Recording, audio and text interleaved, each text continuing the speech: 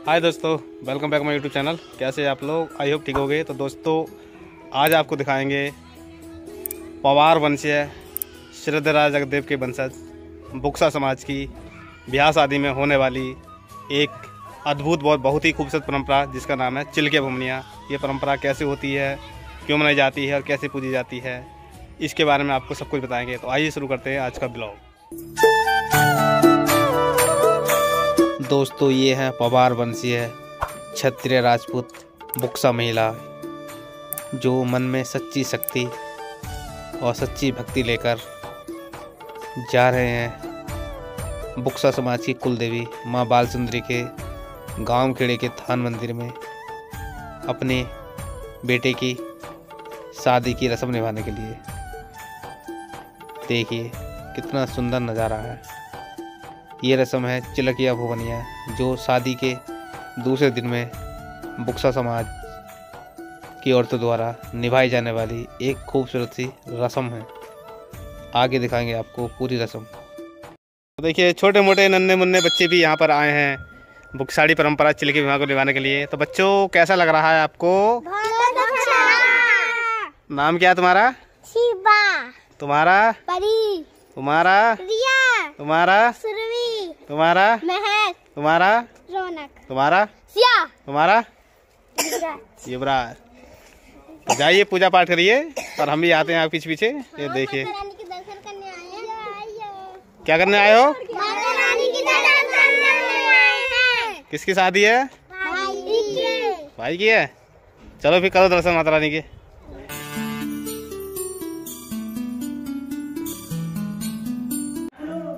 है चिलके भवनिया की पूजा, जो अठौड़ी पूजी जाती है। अठौड़ी का मतलब है, ये जो सात इन्होंने माता की जोत जलाई है और इस पर जो पकवान है, आठ पड़ी रखते हैं, एक जोत पर। तो इसे ही कहते हैं चिलके भवनिया की पूजा।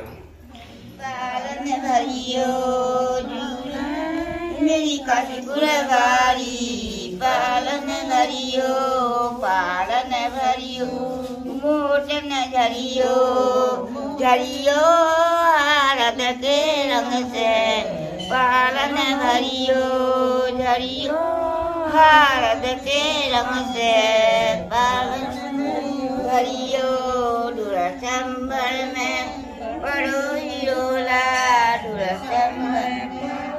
आइए दोस्तों, आप जानते हैं इनसे तो जो चिलके भमनिया की पूजा है, जो काय कराए पूजा। बड़े बूढ़े चलता बड़े बड़े चलते आइए। चलता आइए पड़ा मत चली आइए। हाँ, सब खेसन। लगे हैं मेरे बिहार अच्छे पड़ जाए जो हमारे सूर में जनानी जामना चाहिए कछु खोट खताक न होए अरापिया हाँ। सरापिया लड़ाई भिड़ाई कछु न होए। कछु न कछु होए। लक्षण बढ़ जाए। हम सही है मैं घर में राज सही है मैं बस्ती में भी। जो गाने जो गाओ जो काय को गानो जो। देवी को देवियों देवी को? है। अच्छा काकनिया का होगा तो? ये काकनी बने ना। काकन छिल जन वो हर बनेंगे दूर दूर लगे अच्छा अच्छा अच्छा। चिलकिया भुवनिया की परंपरा की पूजा दो भागों में होती है। प्रथम भाग होता है मैन गाँव खेड़े के मंदिर में जाकर पूजा अर्चना करना।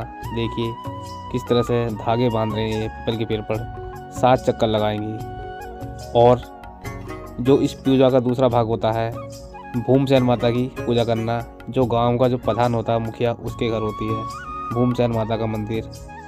यहाँ से पूजा अर्चना करने के बाद ये लोग जाएँगे भूमसेन माता के मंदिर। आपको दिखाएँगे पूरी परंपरा चिलके भूमनिया की। ये देखिए दोस्तों, ये हमारे बहुत ही अच्छे कैमरामैन हैं, पवन भाई और आकाश भाई। बहुत अच्छे कैमरामैन हैं, बढ़िया शूटिंग करते हैं। ब्याह शादी में या कोई भी प्रोग्राम हो, आपको शूटिंग करानी है तो इनसे संपर्क करें। देखिए दोस्तों, पूरे विधि विधान के साथ पूजा अर्चना करने के बाद अब ये पवार वंशीय क्षत्रिय, बुक्सा राजपूत महिलाएँ अब यहाँ से प्रस्थान कर रही हैं और प्रस्थान करने के बाद ये भूमसेन माता के मंदिर में जाएँगी और वहाँ पर पूजा अर्चना करेंगी। देखिए, मंदिर से निकलती हुई ये महिलाएँ मन में बहुत ही सच्ची भक्ति और श्रद्धा लेकर जाती हुई भूमचंद माता के मंदिर। देखिए दोस्तों, अब पहुँच चुके हैं भूमचंद माता के मंदिर।